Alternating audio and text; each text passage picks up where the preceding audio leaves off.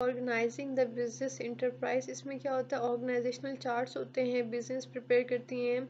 Organisation charts ताकि वो clarify कर सकें स्ट्रक्चर को कि कैसे जो एम्प्लॉयज़ हैं वो फिट इन होते हैं किसी भी फॉर्म में। अब जो लार्ज फॉर्म्स होते हैं, उनके कम्प्लेक्स चार्ट्स होते हैं क्योंकि उनमें जो एक्टिविटीज़ की कम्प्लेक्सिटी बहुत ज़्यादा है।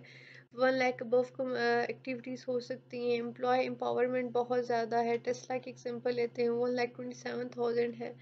तो बहुत ज़्यादा फिर कम्प्लेक्सिटी आ जाती है, ठीक है?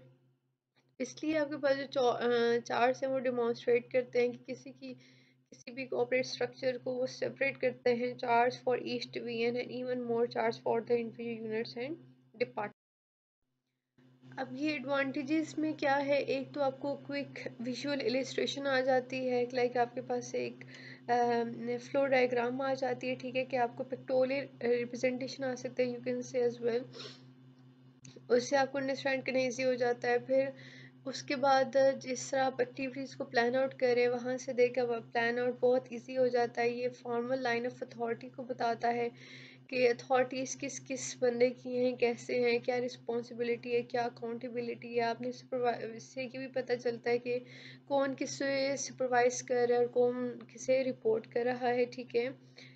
इसमें आपके पास मैनेजमेंट डेवलपमेंट एंड ट्रेनिंग भी आती है। आपने एवेलुएट करना है स्ट्रेंथ एंड वीकनेस को। इसमें स्टार्टिंग पॉइंट आता है किसी भी प्लानिंग ऑर्गेनाइजेशन चेंजेस का, ठीक है, कि कोई आपने चेंज करनी है। तो एक formal integrated change control board को एक रिक्वेस्ट आएगी एंड फॉर दैट आप फिगर आउट कर सकते हैं। इससे आपने डिस्क्राइब करना है अपने चैनल्स ऑफ़ कम्युनिकेशन को, ठीक है from the top to the lower level disadvantages में क्या है कि बहुत ज़्यादा आउटडेटेड हो जाते हैं क्योंकि हम एक ट्रेंडिंग इन्वायरमेंट में रह रहे हैं। आफ्टर एवरी टू मंथ्स के ट्रेंड्स पे वो चेंज हो रहे हैं। शो नहीं करता है इनफॉर्मल रिलेशनशिप्स को ड्यूटीज़ एंड रिस्पॉन्सिबिलिटीज़ को एज इन डिटेल नहीं बताता।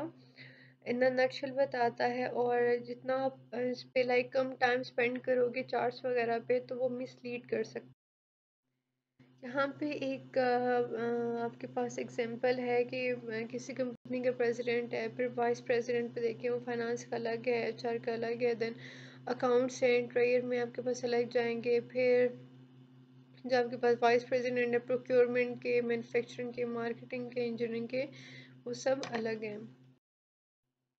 डिटर्मिनेंट्स क्या हैं? ऑर्गेनाइजेशन स्ट्रक्चर के इसमें लाइक ऐसे ही इम्पोर्टेंट फैक्टर्स होते हैं किसी भी ऑर्गेनाइजेशन को रन करने के लिए, ठीक है? इनको फ्लेक्सिबल होना चाहिए और इन्हें चेंज करना चाहिए अकॉर्डिंग टू द इन्वायरमेंट ठीक है? अगर मैं किसी भी ऑर्गेनाइजेशन के जो डिटर्मेंट्स हैं वो क्लियरली डिफाइन नहीं है तो दैट कैन बी लाइक उनके लिए काफ़ी ज़्यादा प्रॉब्लम हो सकते हैं।